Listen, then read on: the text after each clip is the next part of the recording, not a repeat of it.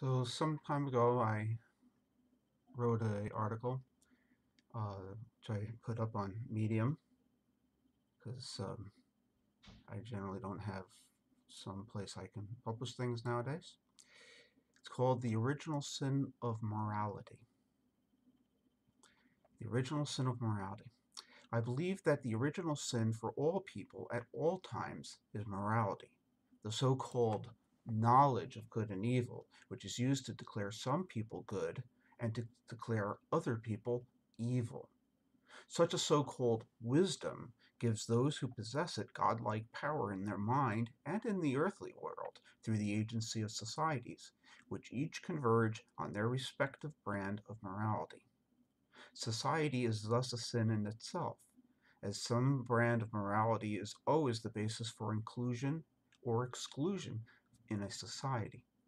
The codification and institution of morality and its enforcement through those laws and institutions authorizing the force of society as a means to the dehumanization of large categories of human beings is the essential component of the kingdom of man, the rule of the people, which is to say, democracy.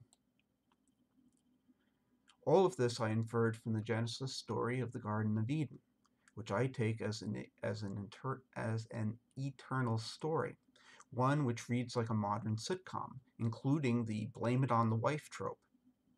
What the story tells us is much deeper than what its humorous depiction of human frailty might lull its readers into accepting as its meaning. The tree of the knowledge of good and evil in the midst of the garden is morality. The temptation of the serpent is democracy and the character of Eve after eating the fruit of the tree is society. The gospel takes that eternal story one step further and flips it on its head with an assist from the prophets. In outline, a prophet named God Saves teaches that people should seek the kingdom of heaven rather than the kingdom of man, and for this message is condemned by society and democracy to hang on a barren morality tree, the stake used as the implement of a death sentence by the quintessential democratic empire, the rule of the Popularis party of Rome under the Caesars, inaccurately called the Roman Empire. The moral condemnation of God by society and democracy through the hanging of a prophet in the role of God, the persona of God, refutes the original sin of morality, as well as its derived sins of society and democracy. What then of the other tree in the midst of the Garden of Eden, the tree of life? Morality is inconsistent with its fruit. Declaring some people to be evil is declaring them not to be people, and furthermore, enemies of society and democracy as pariahs and criminals. In the black and white view of morality, pariahs and criminals face a sentence of death.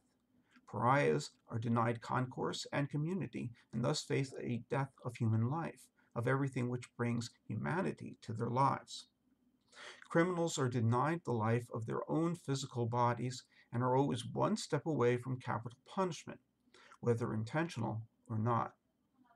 To have God sending his angels to guard the tree of life is a metaphor for a logical necessity. The tree of life is never chopped down, though, indicating that morality can always be rejected along with society and democracy.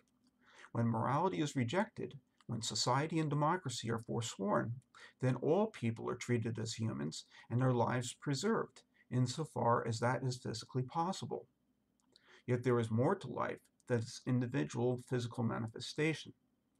This is where the body of Christ plays a crucial role the communities of people cho choosing the kingdom of heaven, the kingship of God, the kinship of love, and the res are the resurrect resurrected body of the anointed one, of the person of God which society and democracy eternally condemned. This is the message of the gospel to the people everywhere. It transcends culture and tradition, even of faith, where we call it religion.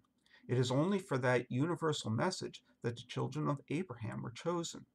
They were not chosen to carry their, the albatross of their tradition around their necks, and certainly not to be advocates of democracy, society, and morality. From the stones of any continent, God can raise up children of Abraham who truly fulfill the promise by rejecting morality and accepting life. Yet, what is life?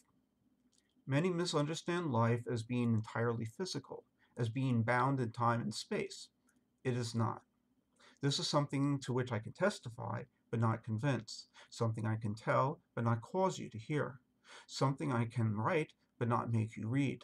Only the Great Spirit, the Holy Spirit, can present it to you in a personally meaningful way. I can only say that I know that my life transcends my body and that I have known this from before I fully walked, from being caught up in the warm white gleam of love whose embrace I felt after praying as the young Solomon. I also saw what I sensed from my elevated position to be many children in India suffering misery. I also felt that I had a choice to continue upwards, but decided instead to return to solve the problem of poverty. That is the genesis of my mission and my sense of life. It cannot be your own. It is why I am convinced that my physical life is only a part of the life in which I dwell.